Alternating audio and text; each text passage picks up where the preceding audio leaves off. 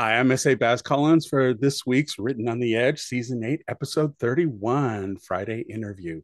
We'll be getting to know Juliet Kemp better and talking about their recent release, The City Reveal.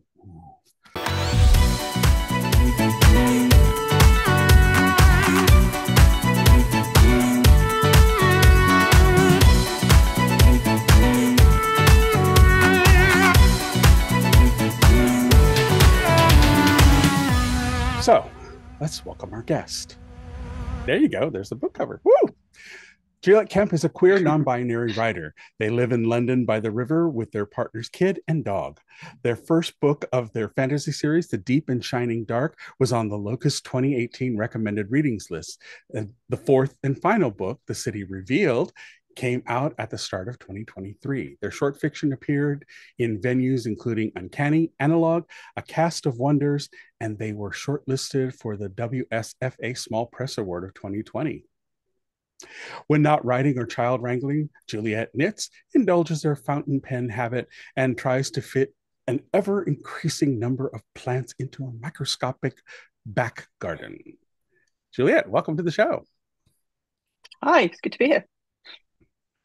so tell us uh, you know how you got started in this uh, wacky business we call writing um, well I, re- I wrote a lot as a kid um, I have a lot, lot of memories of writing all sorts of things. I, I even sent something off to a publisher when I was like 13 and got a very uh, nice letter back. This was back in the days when i'm doing like physically a stack of paper um, right. in the post.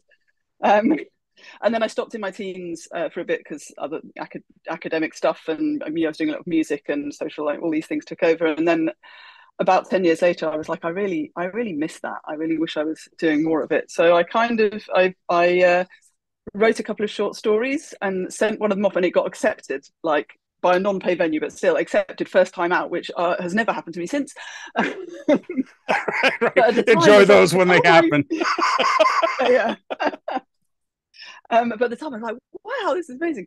Uh, so that was that was very uh, um, inspiring, I guess. Like it, it, felt really good. So I very sort of very slowly started writing more. Um, wrote a couple of novels which I trunked. Wrote some more short stories for like little anthologies and kind of token pay venues and then semi pro venues. Had a baby in the middle of that, which did kind of slow everything down a bit. wow. Okay. Um, and then uh, I wrote the Deep and Shining Dark.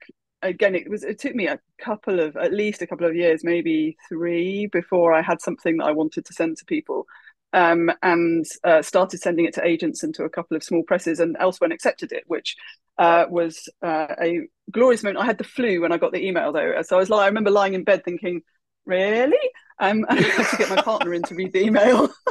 am I am I imagining this? It's really what it's right, right, right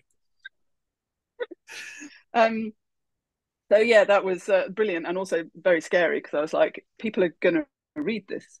That's, that's really scary, or they won't read that, and that's really scary. My child is out in the world. exactly, yeah. Um, uh, but it was great, and I was I was thrilled when that was say on the Locus uh, Locus recommended reads list. That was brilliant. Um, uh, and uh, yeah, since then that was 2018 that it came out, and I've since then I've written another. I've written a couple of novellas. I've written the rest of that series, um, which is it's it's been really enjoyable writing it. I, I've really enjoyed spending that much time in the world. Uh, book two did come out on the day that the UK went into lockdown during the pandemic, which I don't recommend. Like that was not ideal. Um, but the uh, uh, but it's it's been it's been lovely sort of hearing from people who've read it and all that kind of thing. And I've had more short stories accepted over that time as well. Um, so yeah, that's and that's where I've got to now. Okay, well, tell us about your recent release, The City Revealed. Yep, this is this one. Gonna, yeah, going to blur out. There we now, go. Yeah. um, it's uh, yeah, it's I made some notes because I can never I can never answer this off the top of my head. it's a book. I read the book. It's got words in. It has pages, and you flip uh-huh. them like this. yeah, yeah exactly. um, so yeah, it's the fourth and final book in the Marek series. Um, although uh, the fantasy author Juliet um, who blurbed it for me um, read it without reading the previous ones to see what happened and said she reckons you can start there if you want. Obviously, I encourage oh, you to read all of them, um, right? But you can start. You can start in the at the end. Um, so yes, me. I, it's set in the city of of Marek, um, which in this book is newly independent and under threat. Um, my one of my main characters, Marcy, is uh, heavily pregnant, very fed up, um, and trying to warn people about the threat whilst nobody believes her. And she's about to fall out very dramatically with her sorcerer brother Cato. Uh, meanwhile, there's revolution brewing in the rest of the city, and during the course of the book, all the problems crash neatly into one another. Um. And then I hope I wrap them up successfully. Well, what should readers so know about the Marek uh, series? Um, it's secondary world fantasy. Um, I okay. keep wanting to call it urban fantasy because it's set in a city, but that isn't what urban fantasy means. Unfortunately, this is right. like it is a um, urban a fantasy. yeah. Um, so it's it's the the world is kind of uh, they've got printing presses, um, but you know it's not you haven't got any kind of the up to date tech. That kind of it's that sort of era of world. Uh, okay. It's queer norm, um, and it's a one of the things I'm really interested in is is uh, where things like family, loyalties, politics, and magic all collide together. Um, it's it's been described as uh, eminently satisfying and richly imagined, both of which were things I was very pleased about by the people who said that. Um, and the other thing, I guess, to know about it is, I think we might talk about this later in the uh, podcast, but I'm really interested in trying to write stories where people solve problems without the kind of fantasy uh, big battle with a big sword sort of climax. Uh, I've read. I'm not that I'm not into that as well, but the I, I'm kind of really interested in solving problems without people smacking each other with things. um, so so I guess that's the other thing about the series that I'm it's I'm trying to get people. I'm trying to write different sorts of different ways to get around problems, including quite serious problems. Ah, excellent. And lots Sounds of people like argue really... with each other. Well, yeah, as as things want to do, you know. mm-hmm. Um. So, what what can if if I were at a book fair and you were there and I walked up to you and, and asked you what was it about how would you do the elevator pitch kind of thing to get me interested in the book um political fantasy with uh, magic, complicated family loyalties, um, and a uh, chaotic neutral trans sorcerer. Okay, okay, there you go. Now we just need that on a billboard so people know about it. yeah, yeah, absolutely. All right. Well, you know, it's interesting because um, now the character, the main character, how do they identify? And is it a, is it a, um, a thing in your world to have to identify? No, one of the things I wanted to do was to to make that not um, important. You know, that's not quite the right way to put it, but uh, say it's it's queer norm in the sense of of the different sorts of relationships and different sorts of identity um, are thing. unremarkable. They just they just yeah. exist, just not a thing. Um, so, for example, say my uh, trans sorcerer Cato um, has been disowned by his family, but he's been disowned, well, his mother specifically, um, but he's been disowned because of the magic, nothing to do with the gender or anything else. Um, and his sister Marcia, who is is still in touch with him, um, sort of somewhat quietly, uh, the she gets into a relationship with a sorcerer, which again is it causes trouble. But the trouble is because people in her sort of political position are not supposed to be involved with magic, not because they are the other sorcerer is a woman. So ah, um, so that's uh, there are lots of people who identify in lots of different ways and different sorts of you know relationships and different genders, but that's that's that's I very much wanted to write something where that was never the source of conflict. Excellent. I, Lots I of other that. conflicts. Right, right, right. We've got child. We've got too much on the plate already. yeah, yeah, exactly. That's not one of them. um, and uh, somebody, I never thought about this when I was writing it actually, but somebody point or not didn't think about it in you know out out loud. You know what I mean? But somebody right. um, mentioned to me a while back that to some extent the conflicts around magic and the way the sort of social position of magic and how though that sort of conflict works is in some ways almost standing in for the for other sorts of discrimination. Right. I was going to So say that's that's one of the big sources of conflict where the other things aren't. Right. And and I think what that does is it really kind of puts the queer normative that you're putting out as saying, see, it's like this is what you're doing. It's over there, but we're we can still in our world apply it to this too, you know. So that's a really great way to kind of bring it all up without really being in the in their face about it when they're reading it, you know. Yes, as I say, I don't think I was I don't I wasn't doing that consciously, but I'm happy to uh, yeah, Yeah, I think yeah. so unconsciously. I think clearly I'm working through some stuff there. yeah, yeah, yeah, I'll take it.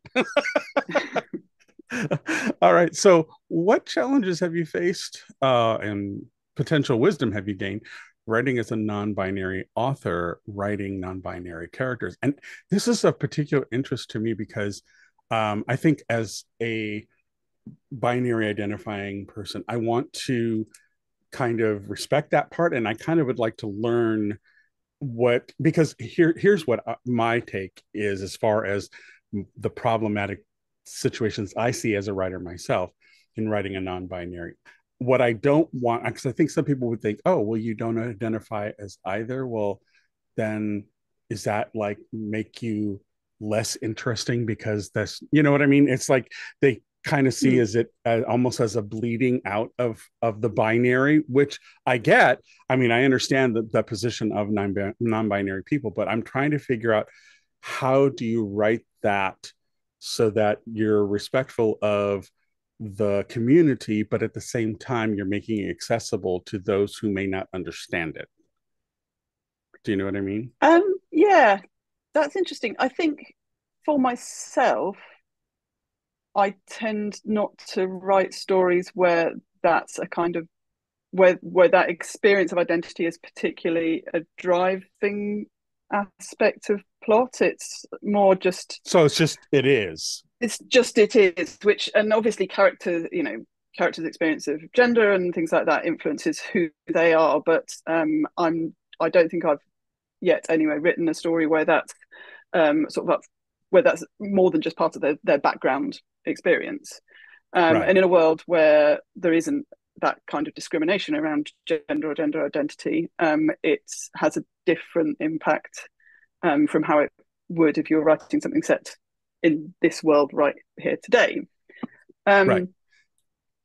And I should, I mean, when I started writing the series, I don't, I, I was trying to think back on this, like the timeline. I don't think I actually identified as non-binary when I started writing it, although I did by the time it was published, because I remember emailing my publisher about my correct pronouns and feeling really nervous and scared about it. So that must have been quite soon after I'd come Mhm. out. Mhm. Um, and it was fine. Obviously, I wasn't nervous because I was concerned about my publisher. It's just scary coming out. like Right. Right. that. Well, that it is era. no matter when you do Um, it, you know.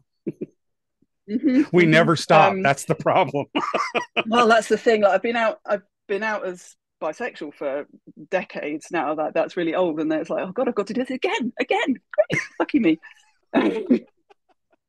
This wasn't on my Uh, bingo but- card. yeah. Um, and I guess to some extent, maybe I was. Um, it, it's possible that some, you know some of what I've been writing and the way I've written characters through that has been part of working my own stuff out. Um, and I wrote a novella just before uh, the novel series uh, started coming out, which nobody has gender at all. There's no there's no gendered pronouns, and that was very much. I wrote that in a because I was feeling very cross about the existence of gender in any way, shape, or form. Well, well, I kind of want to give you a situation to get to highlight why I posed the question the way I did. Mm. I was watching, well, my family was watching the Super Bowl of of queerdom uh, here in the states, uh, the Tony Awards, which was the celebration of everything on Broadway, and Alex Newell was up for a, and there were a lot of queer performers who were self-identifying in different ways, and it was really wonderful to see the spectrum fully represented. Um, but my sister, you know, mind you, she has two queer brothers. Um, she's grown up, you know, and you know, all, surrounded by queer people. You know, she, so she's not like she's outside of the community much. You know, she, ha- I have a lot of queer friends. So does my brother. So we have you know she's been around the community all her life and yet when watching it alex newell went up to accept their award and they identify as non-binary. And my sister turned to me she said can i ask you a question? And i said what? And she said well if they're non-binary how how do i refer to them uh, it, with respect? I don't want to say something wrong. So how does it work? And after peeling back the layers of that question, mm. one of the things she was struggling with is that she kept thinking she had to replace. And I know it's going to sound a little silly, but it it revealed to me the level of complexity that I think cisgender people apply to this situation, and they don't really realize they're kind of overthinking it. She thought she had to replace the pronoun with their proper name so that they were like oh right any yes. I, you know so and and and mm. she was mm. just trying to figure out how do I use it. So I had to explain to her the singular form of they, and you know, and I so mm. I told her, you know, grammatically it's correct, you know, but she goes, can I say their name? I said, yes, absolutely. They're, they're still Alex. They're still, you know, but yeah. that I think is the part of it is that mm-hmm. they think, oh, mm-hmm. it's new territory. I don't want to do it wrong. But at the same time, I'm not quite sure, like, what, what, what do I not say? Or, you know, and this is someone who's respectful of the community at large. Mm-hmm. So, you know, but it kind of revealed to me. And is asking how, the questions, actually. That's, yeah. You know, yeah. How deep the problem goes, you know, and so that's yeah. why I'm interested in, with you writing characters like this I, you know, and and I guess making it queer norm probably is a good way to do it because it kind of takes that oh overthinking it out of out of the box. You know what I mean? Yeah, and I mean personally, to my my kind of feeling about gender largely is no thank you.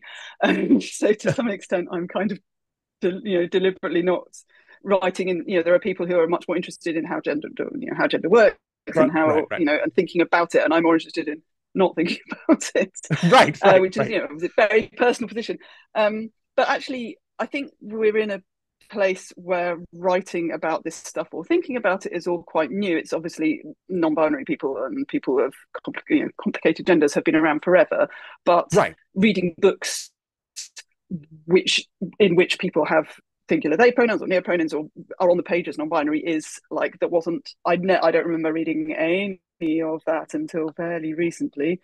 Um, again, not saying it wasn't there, but it's become right. like there's more of it now, and and so I think we're still in a place where people are working out in some ways how to do this, and I've you know I, I've had a discussion I've occasionally had discussions with editors about sort of the not quite the grammatics of singular. They thankfully we're past that.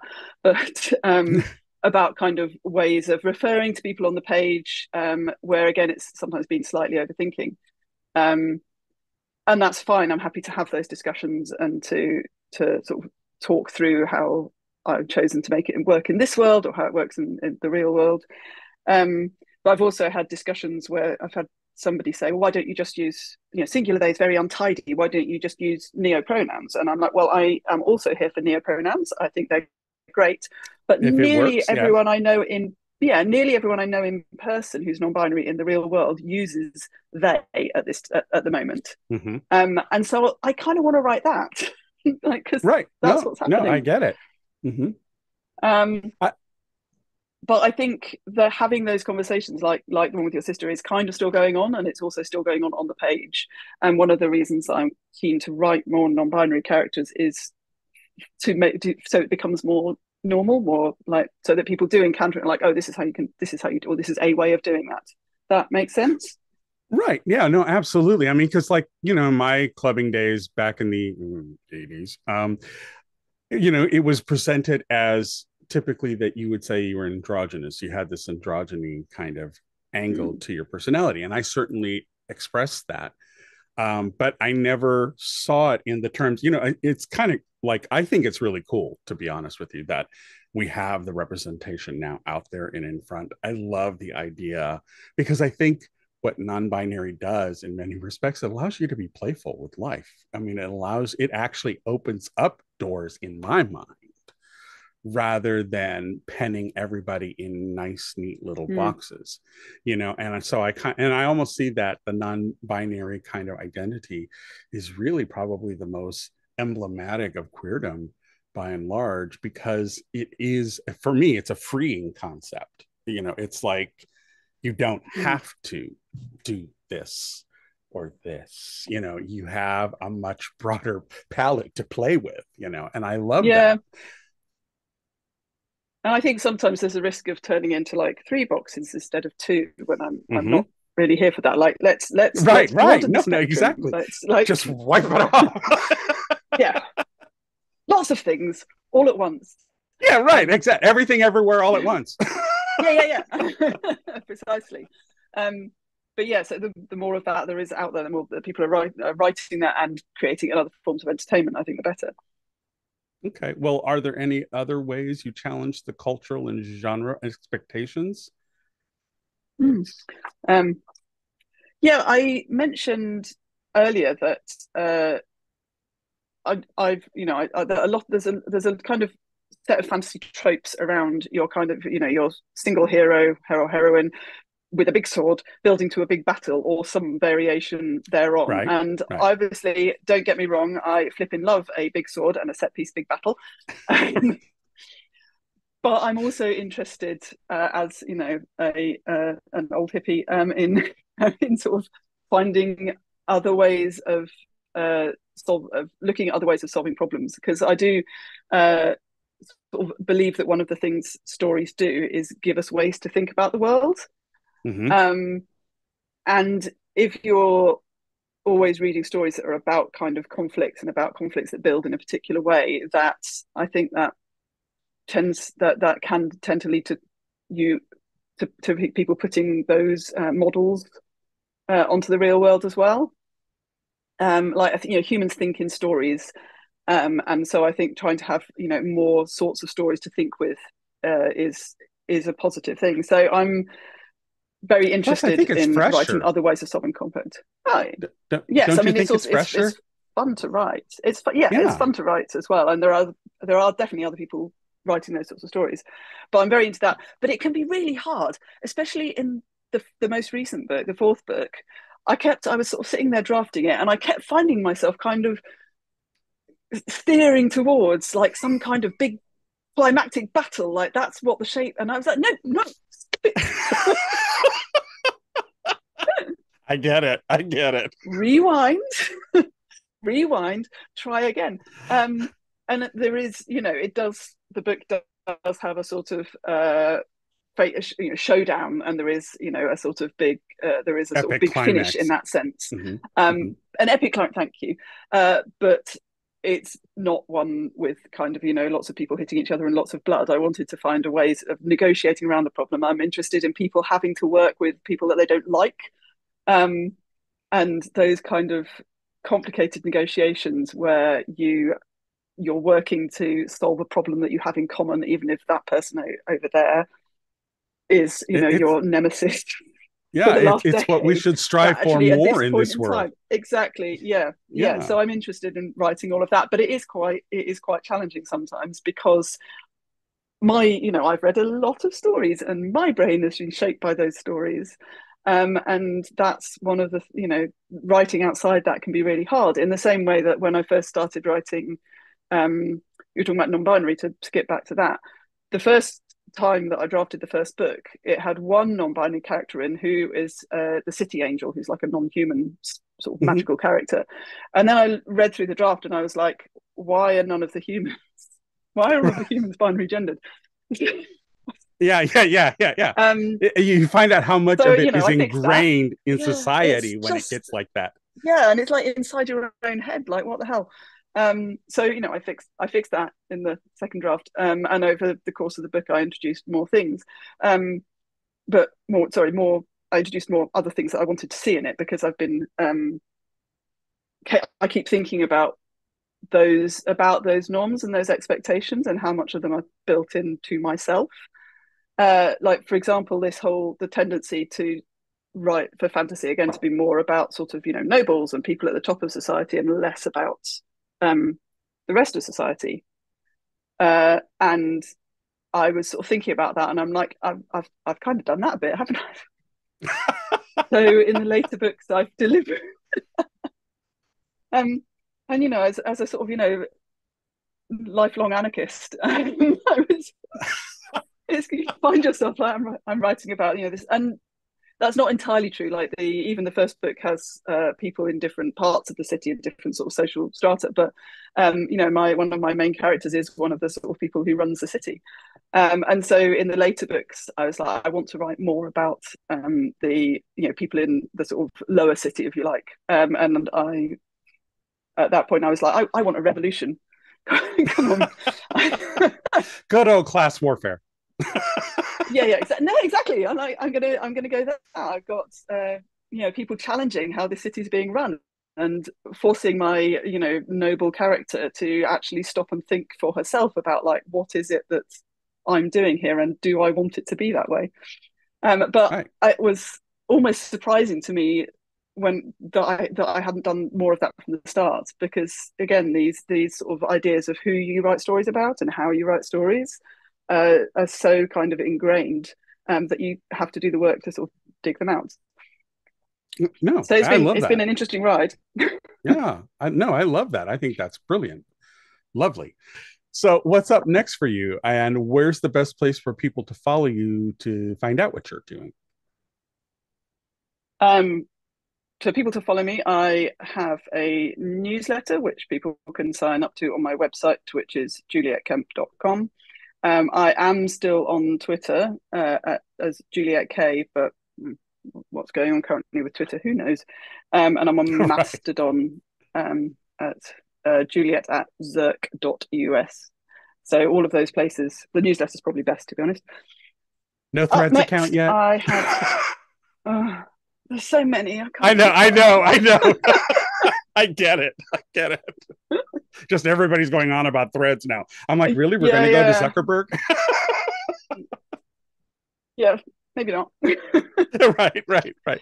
Um, but yes, up next, I hopefully have two novellas out this year, um, both from different small presses, but I'm not wholly sure when yet. We are both of them are in the final edit stage, and I've seen a cover for one of them, which is really awesome.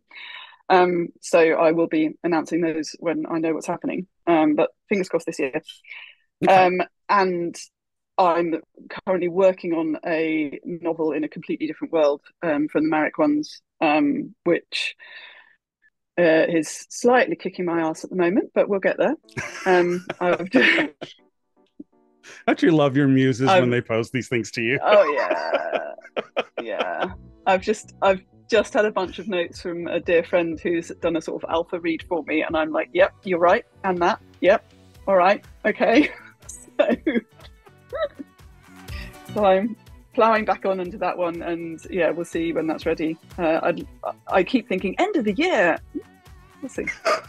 Um, and I have a short story coming out in the the Future Fire, which is an online magazine. Um, that should be out, I think, in October.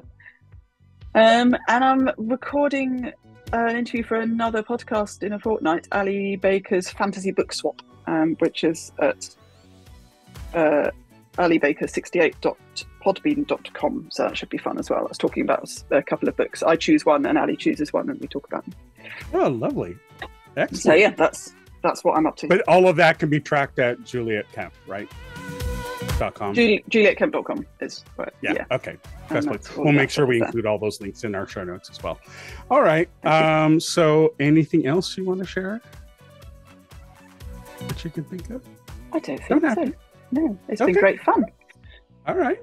Um, well, We'd like to extend a huge thank you to Juliet Kemp. Uh, we at Written on the Edge are proud to introduce you to new media by queer content creators. If you enjoy learning about new artists or hearing our thoughts on entertainment media, please like and subscribe so you can get alerts for the new episodes. This show is produced by Rogue Ravens Media. For our disclaimers, links to social media, our listen stations, or to sign up as a guest, visit www.wrotepodcast.com. Tune in next week for your queer media fix.